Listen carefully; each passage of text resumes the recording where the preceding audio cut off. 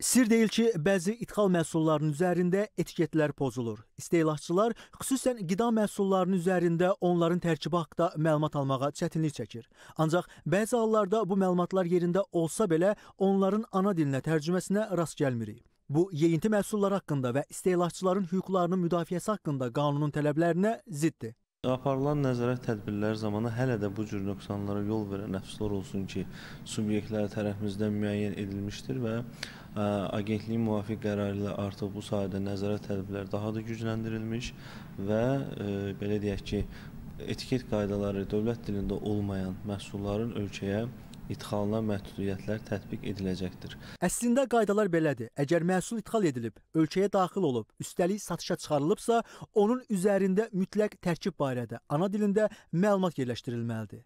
Bəs ana dilində yazılmalı olan məlumatda nələr nəzərə alınmalıdır?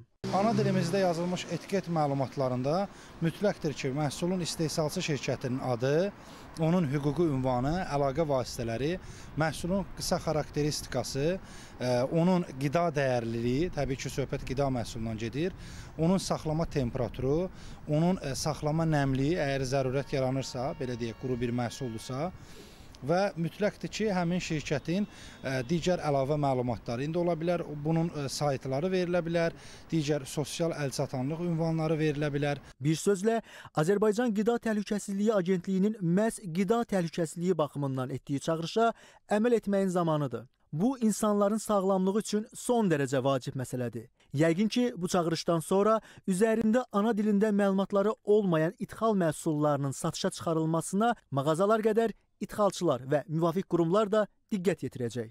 Toğrul Quluzadə, Fərhad Əliyev, ASTV xəbər.